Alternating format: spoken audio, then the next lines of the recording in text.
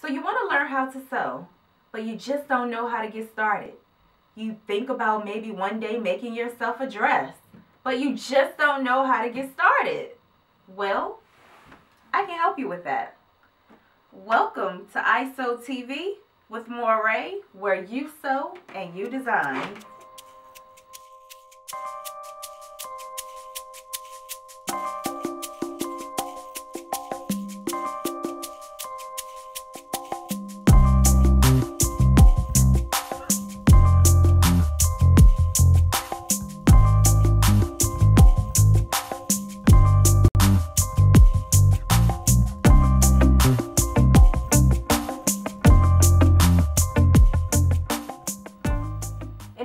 Started, you're going to need to purchase a few items.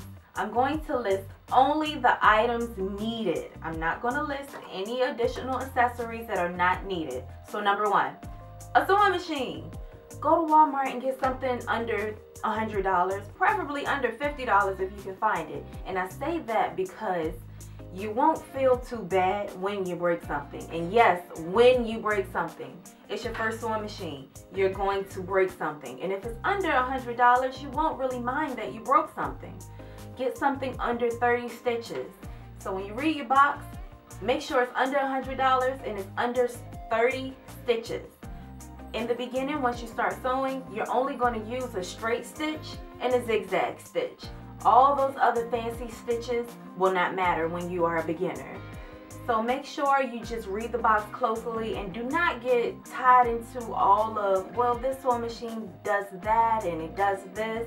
You just need a manual, under 100, preferably under $50 sewing machine just to get you a little used to the idea of sewing because when you break it, you won't feel too bad. As for brands of sewing machines, I wouldn't really get too hung up on what type of brand to get.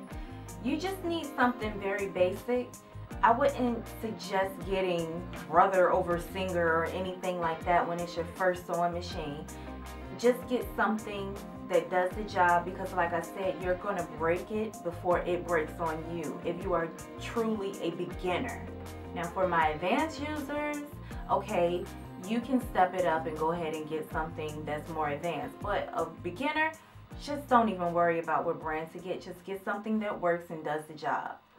Also, get thread for your sewing machine. Just get your basic black or white. You do not need to get all the colors of the rainbow to start sewing. Just your basic black or white.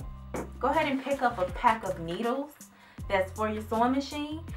I remember when I first started sewing, I was breaking needles like crazy and I did not buy a pack on hand. So I would break it and garment over. I couldn't finish because I didn't have an extra pack.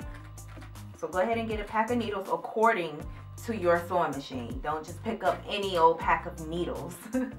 Done that too. go ahead and get pins and pin cushion.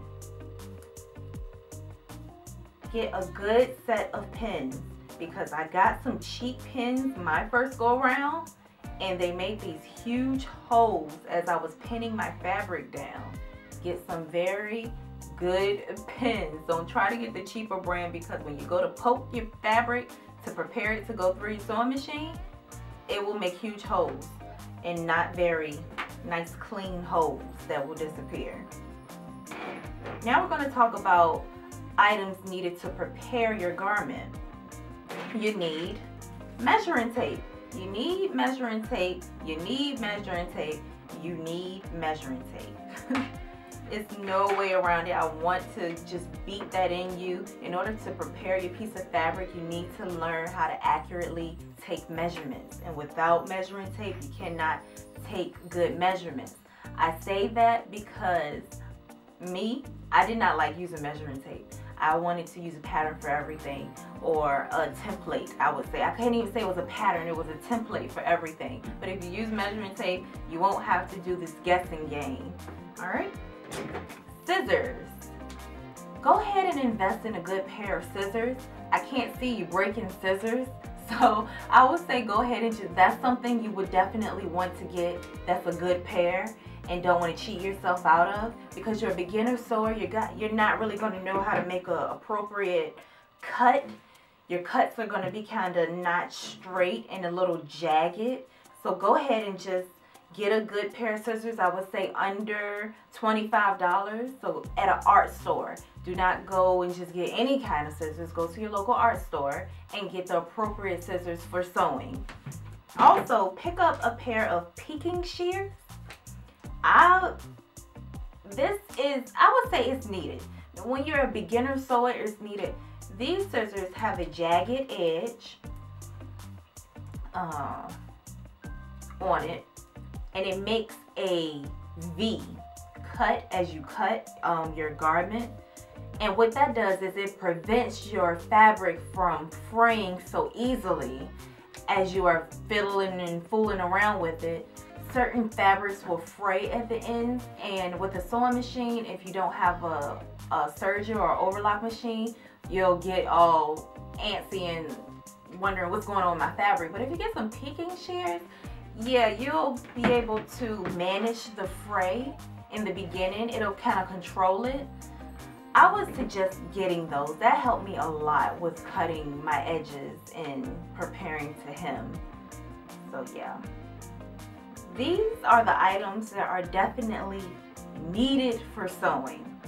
Along the way, as we do tutorials, I will list other items that can be used, but this is absolutely basic and needed.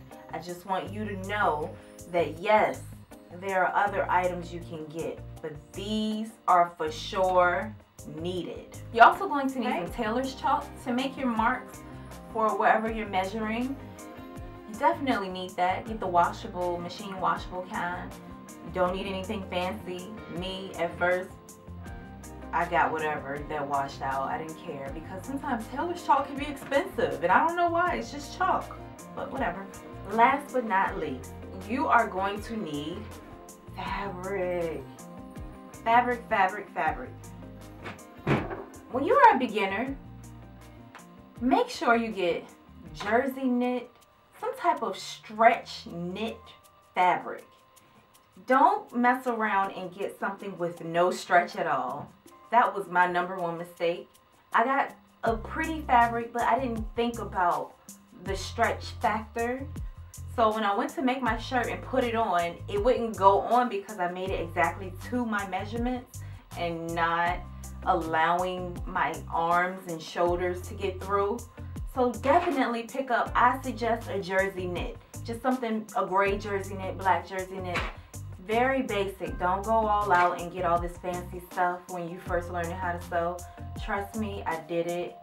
I wasted a lot of money. I don't want you to do that. So yes, fabric jersey knit. Don't get nothing else. I'm not suggesting anything else. I think that's the best way to go. Stretch jersey knit. Well, you guys, I hope you're excited just as I am. Make sure you log into www.iSewTV.com. That is where you will find detailed tutorials on how to make certain garments this is my very first YouTube video and post on iSew TV. I look forward to working with everyone. Please comment if you have any questions. Rate, subscribe. Find iSew TV on Instagram. We're there. And let's get sewing.